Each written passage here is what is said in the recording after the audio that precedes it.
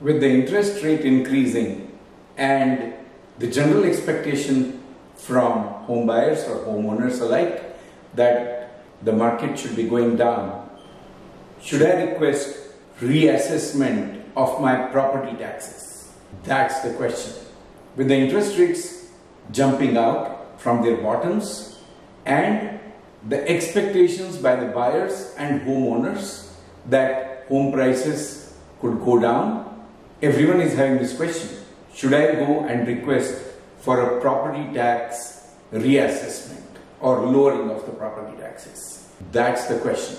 Hi, I'm Amol Heda with Keller Williams Bay Estates and author of Thriving Through Ownership. So, this is the question a lot of people are asking just now. I keep getting emails, calls, texts from my clients as to what's going on. And I'm going to give, make it more generic for everybody to think about it. Yes, the interest rates have gone three times from the bottom that they were. Like I have done the lowest transaction at 2% 30 year fixed. And now I just put somebody in a transaction at 6.5% for 5 year or 10 year, 5 year. And just imagine with that kind of a increase in interest rates, everybody thinks how can we even afford a home now? Because the ratio isn't going to work. And what I mean by the ratio isn't going to work, the ratio of how much you do debt service and housing expenses divided by the income that you bring in monthly. The income, if it doesn't change, this ratio increases dramatically. So now the catch is that even though the interest rates have jumped three times, the property prices are not going down. So guess what is happening? What's going on just now is that the numerator did increase. That is, the housing expense did go up, it became bigger. But the denominator, which is the income, particularly here in the Bay Area, in the Santa Clara County, that did not go down or did not stay the same. In fact, that income went up. People's stock holdings have gone up dramatically. The income from stocks has gone up dramatically.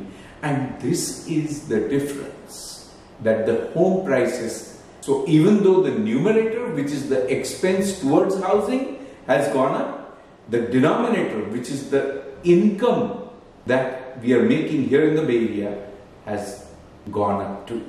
In the rest of the country, not so much. Even in some counties around the Bay Area that depend on some conventional income, that's not the case. But this is the case and so what has happened, I did do comparables for three or five clients so far and in those comparables where I give the estimate of home value to my clients, when I give those estimates of home value, the home values haven't gone down.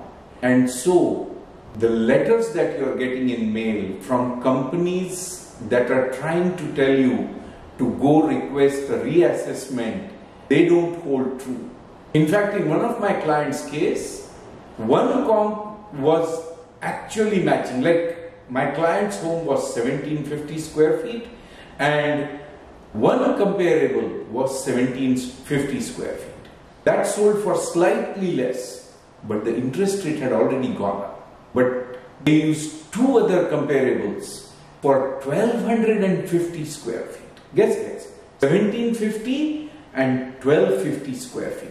How does that even get called as a comparable? And then they are showing the lower property prices of 1.15 or 1.18. And this company sends out a mail to my client saying, oh, you can get a lower assessment. In fact, if you divide the 1.15 by 1250 square feet, the dollar per square feet is much higher and the property assessors in the county are smart enough to look at this and you may not get a reassessment or a lower reassessment. I hope this helps. And if you have questions and if you seriously think market values in your county have gone down or in your neighborhood have gone down, please reach out to me. I'm happy to help with, help with a comparable market analysis and try to validate what will or will not work. I hope this helps. Thanks for watching.